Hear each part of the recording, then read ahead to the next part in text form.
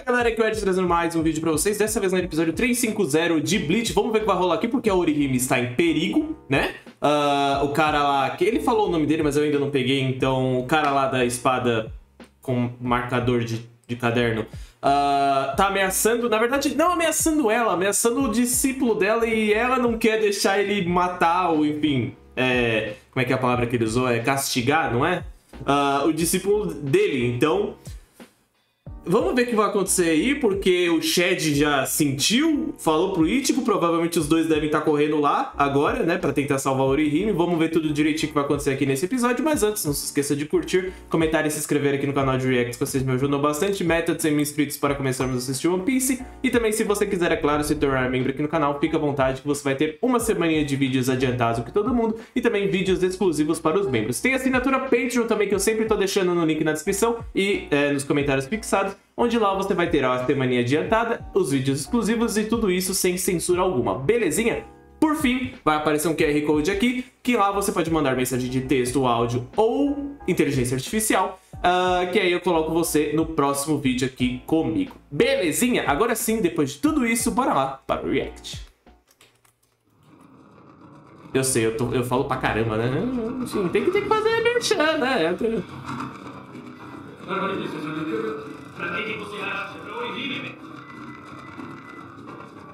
Caramba, ela não é o seu primeiro contato?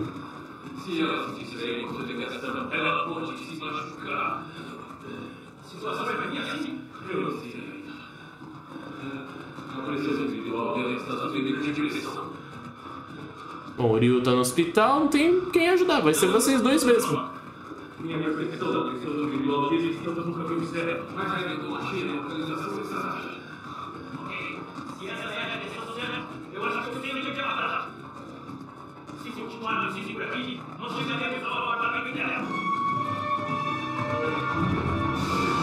Então você sabe onde é o apartamento dela, né? Já foi lá, já? Visitar ela? Né? Parei, não é o momento. Desculpa, perdão.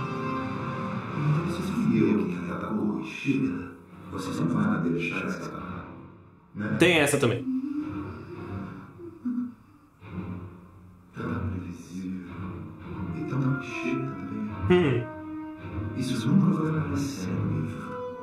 Nossa, é verdade, né? Ele pode fazer isso. Eu, eu vou gostar se ele fizer isso. Começar a usar termos clichê e tal. Porque ele gosta de livros e tal. Como é que é essa história aí? Palmada no popô?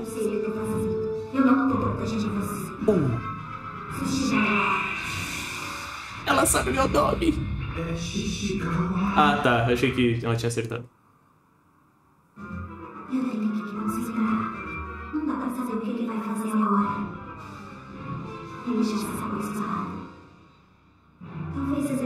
As vezes falsas me deixem.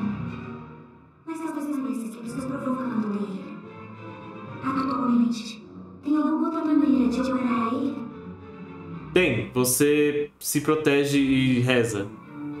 Porque atacar você não vai conseguir, não.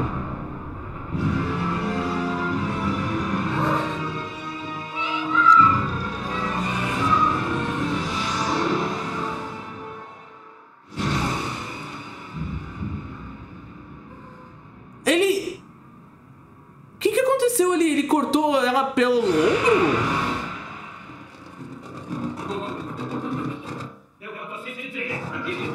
Quarto andar, então.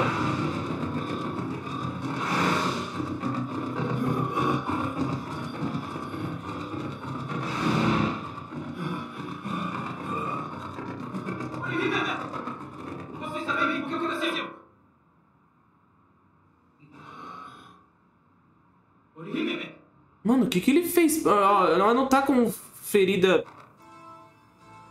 física.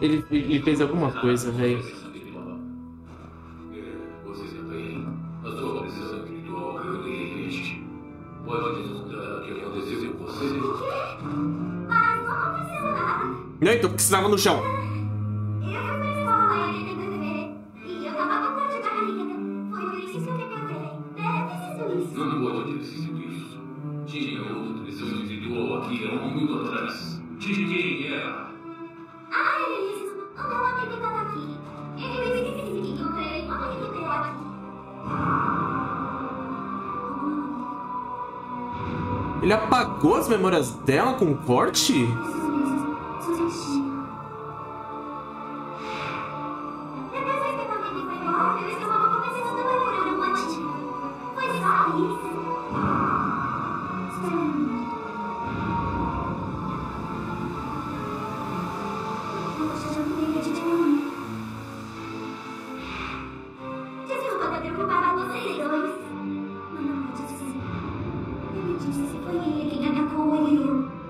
Tá, então ele pode cortar as pessoas e meio que tipo reescrever a história na cabeça dela, é isso? É. Eu tô me baseando por causa do livro, porque ele gosta de ler, então. E ele usou o termo clichê, né? Então, sei lá. Ou ela só tá metendo louco mesmo. Ah,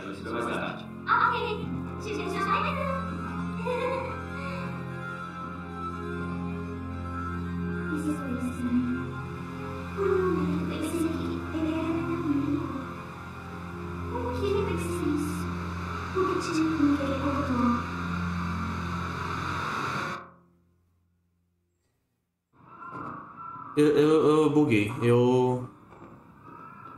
Então, o que você acha dessa história dela? Cap. Eu. Bullshit. Metendo louco. Não tenho certeza. Não ele pensar que o Ichigo está recuperando seus poderes. Ela deve ter se preocupado com ele sendo envolvido em confusão por causa dela. Uma coisa é certa. Ela quer que o Ichigo saiba que ela está Ela disse que não tinha nada de errado. Ah, Então, eu acho que a gente já deve ter tenso. E eu concordo com ela. Seria muito arriscado se o Ichigo se criasse uma confusão na condição atual dele.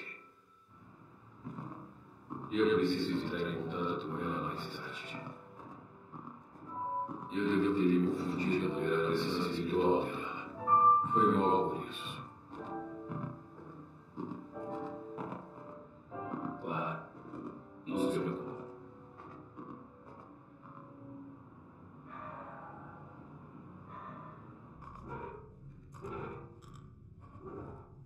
Nossa, mandaram bem no, no som do, dele limpando a taça. Tá bêbado. Mas por que não? Você bebeu muito. Por favor, controle-se. Mas que história é essa? Eu sei que você está feliz porque as coisas estão dando certo com o Ichigo, mas... Mas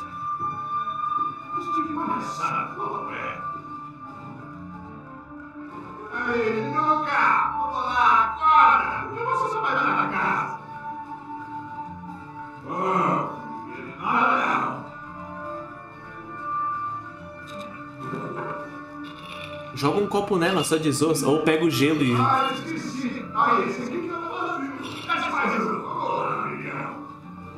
Já hoje. Ai, eu quero mais. Olha, então vai acontece mais antes que você. Mas eu tô morrendo de sede.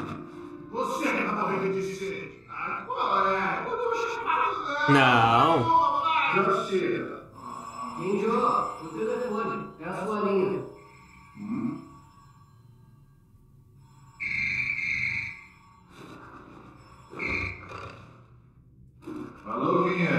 é? Oh, do nada mudou pra sério, né? Legal. Eu vou abrir agora.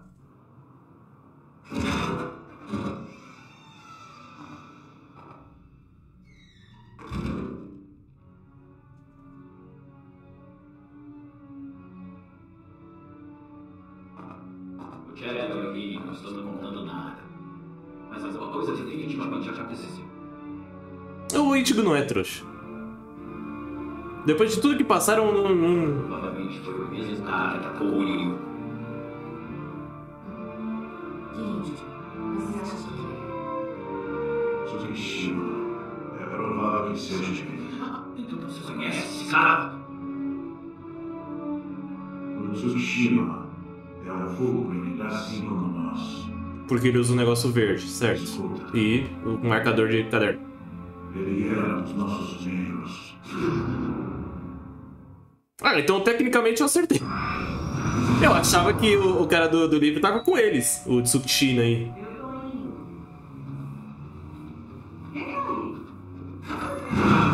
Nossa!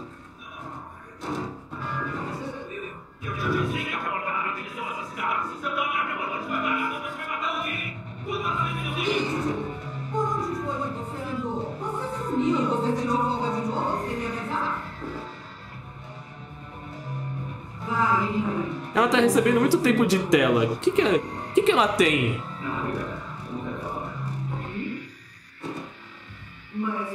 Ela vai sair no soco com alguém? Como é que é? Você quer ficar mais dias sem trabalhar? Você é. Eu com meu chefe.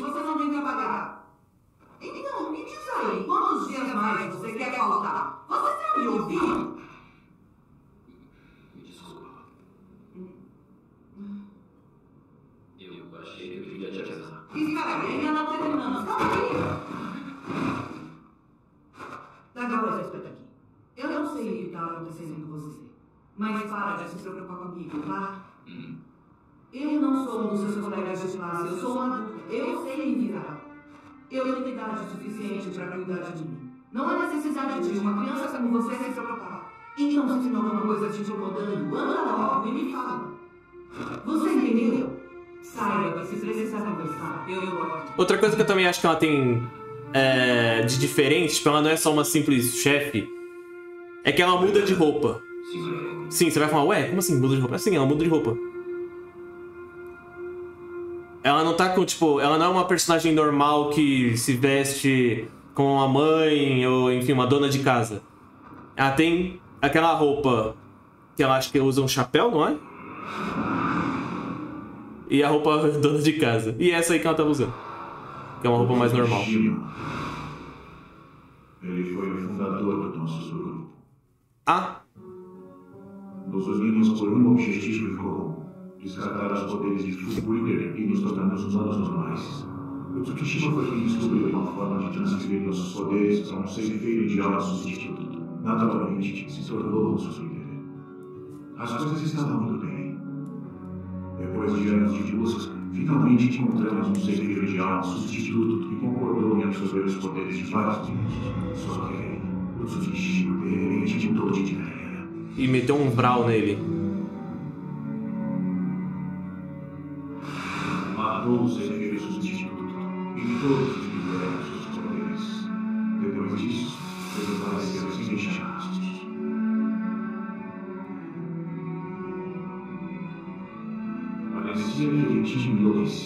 mas talvez estivesse planejando sua saída sangrenta o tempo todo. Eu preciso te mostrar uma coisa.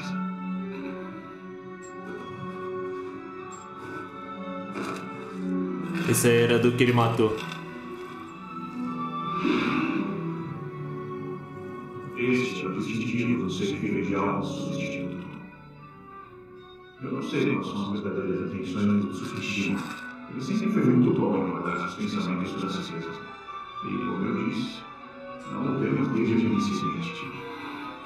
Mas, por enquanto, de uma coisa eu tenho quase certeza. Baseado no passado, o Tsukishima vai tentar nos impedir de transferir nossos poderes para o filho de alma substituto. Todas as últimas ações dele apoiam essa teoria. Ele atacou o Uri Ishida, então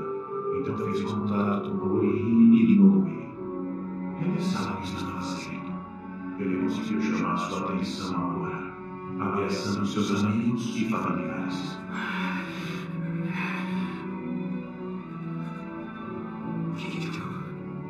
Eu tenho que fazer uma coisa. Caramba, ele é maior que o Ichigo. Não se apresse.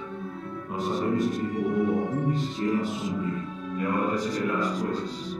Sua próxima sessão de treinamento acontecerá em breve. Tentaremos encontrar quando estiver pronto. Como assim, quando estiver pronto? Provavelmente ele deve estar pronto agora. Conhecendo o Ichigo.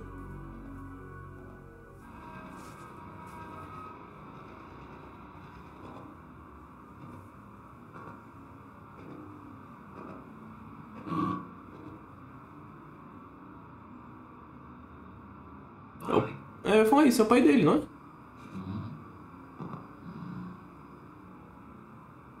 Ué. Por que você não quer falar com seu pai? Eu falaria. Urahara. Eu conheci pela voz. Vocês estão vendendo droga, cacete?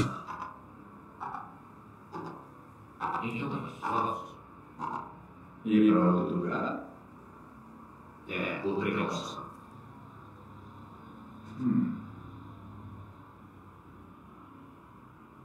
Tá bom, entendi. Vamos lá, então.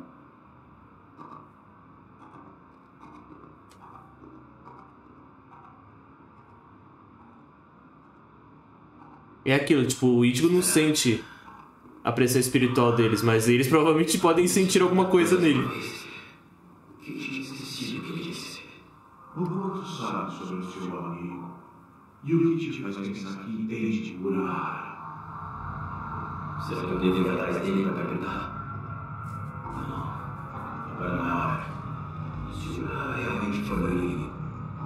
Ia ser muito da hora, tá? Eu ia gostar demais. o que, na verdade, eu acho, baseado em. Baseado em. em, em diálogos aqui.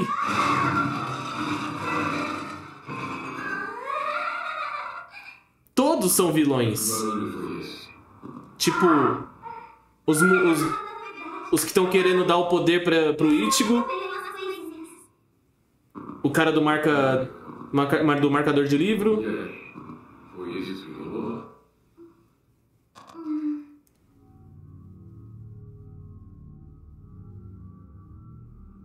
Eu tenho certeza que me encontrei, mas quando eu vi, não havia sangue ou qualquer de ferimento. Meu Deus, Orihime. Você botou silicone, velho? Desculpa. O telefone dela é um hambúrguer, agora que eu vi. O Titico tinha aparecido pra ver se estava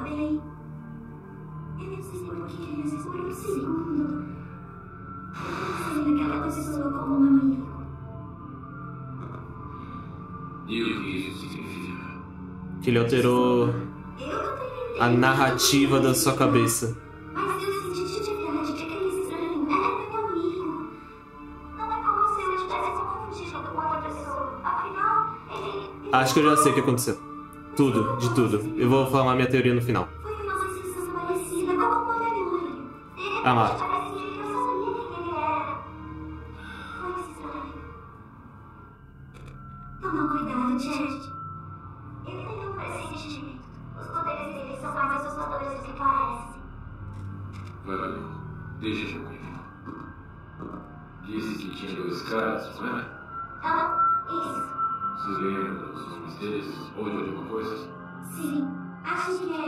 Sustila e Sustigawara.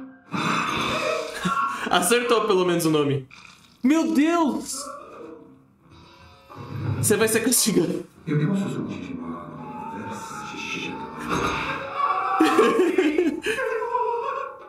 Você espirrou na cara dele, velho. Você não precisa fazer mais nada.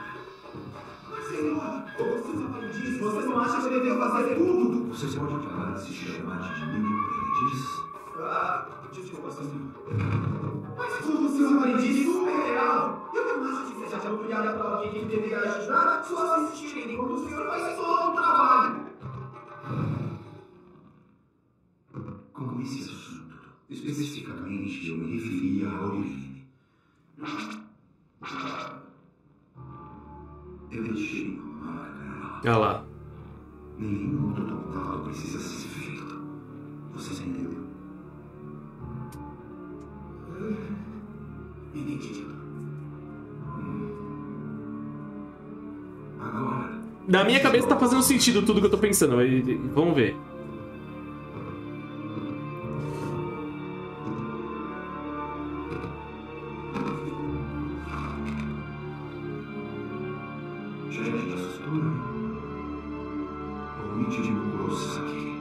Verdade, o nome dele não é Chad Yasutora. É, é Yasutora Sado, não é? Chad, acho que era só um apelido, não disso? Continua.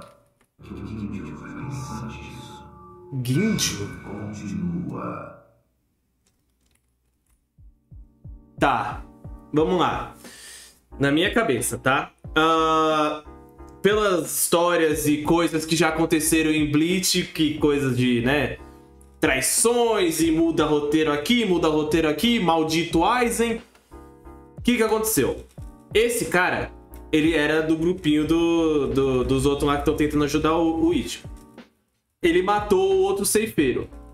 E, pelo que eu entendi, o poder dele, né, da espada dele, ele altera a história dentro da cabeça das pessoas. Tipo, ela, ela sabe que a, a, a Orihime sabe que ela foi atacada. Só que, tipo, na cabeça dela, ela é amiga dele. Tipo, ou seja, de- teve uma alteração de narrativa aí na cabeça dela. Por causa do golpe. O cara que tava bêbado lá, que tava falando as coisas político, falou assim: ah, ele matou todos ah, do, do, do grupinho e tal. Ele não matou ninguém. Quer dizer, ele matou só o ceifeiro. Esses, que, esses aí que ele falou que ah, ele, ele atacou todo mundo e tal, são eles. Eles foram atacados. Eles tomaram o golpe. Entendeu? E aí ele alterou a, a narrativa na cabeça de todo mundo pra pensar, tipo, ah, ele é o vilão e nós vamos tentar ajudar o Ichigo. Mas na verdade tá todo mundo sendo é, manipulado por ele. Por causa do golpe dele. Do, do, do cara do marca-texto, do, do marca. do marca-livro. É que eu ainda não peguei o nome, gente, perdão. Eu, eu, eu, vou, eu, eu vou pegar o nome ainda, peraí. Então assim, tá tudo sendo feito uma narrativa onde tá tudo misterioso. Mas eu acho que tá todo mundo sendo manipulado aqui. Todo mundo. Todo mundo. Fatos que eu acho que, que podem é, ajudar nessa, nessa minha hipótese. Do nada a Rukia falando, não, ele não, surgiu, não se juntaria ao inimigo. Ou seja, quem que ele já tá junto? Dos caras. Só que os caras não sabem que eles são os inimigos. Quem, o único que sabe é o cara que tem a espada que faz todo esse lance. Bo- provavelmente botaram na cabeça lá do, do, do que tem lá uma correntinha lá de X da Execution, lembrei o nome da, da organização, Execution. O novo líder, vai, vamos colocar assim, o novo líder da Execution.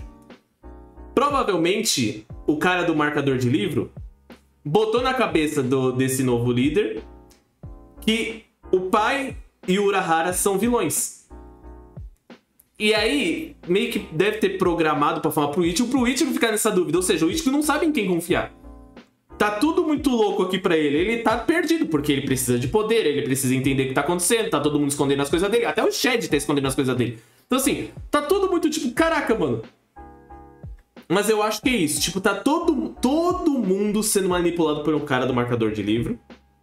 Eles são vilões. Todos. Esses que usam o- os. Eu não vou lembrar o nome do poder deles. É, todos são vilões. Todos, todos. Só que eles não sabem disso. Tô louco, né? É a minha teoria. Isso tudo pode estar errado. Vocês podem estar rindo da minha cara agora, mas é a minha teoria. Enfim, vamos ver o que vai acontecer no próximo episódio. Espero que vocês tenham gostado, espero que vocês tenham curtido. Vejo vocês nos próximos vídeos. Valeu, falou e até mais.